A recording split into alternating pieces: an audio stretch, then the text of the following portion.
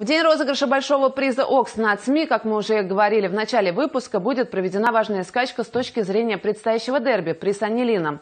Наряду с известными любителями подробных испытаний лошадьми в записку попал и жеребец Конор Бейшен. Трехлетний сын Кэнди Райта и Харпи скакал только раз и уверенно выиграл. Принадлежит жеребец частному владельцу Азрету Чотчаеву, в хозяйстве которого есть не только чистокровные верховые лошади, но и арабские, а также карачаевские. О темной лошадке приза Анилина, Конербейшине и о других лошадях Чотчаева узнаем у Екатерины Швалюк.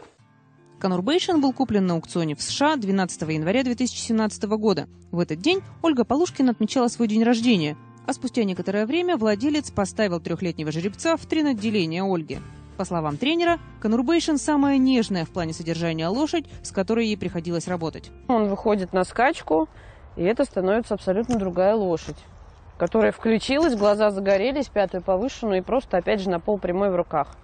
И тут мы как бы все обалдели. Прям точный пример такой лошади, которой можно сказать, по работе я одна, на скачке я другая. Он может по работе проехать раз кругом, ему в бинты забьется песок, он придет на круг в середине, вот так встанет, ножку вытянет и скажет, разбинтовывай меня. Я дальше не сдвинусь с места, пока вот это вот, вот это вот ты мне не уберешь.